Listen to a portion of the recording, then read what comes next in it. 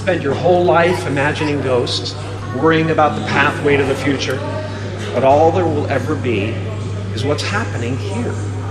And the decisions we make in this moment, which are based in either love or fear. So many of us choose our path out of fear disguised as practicality.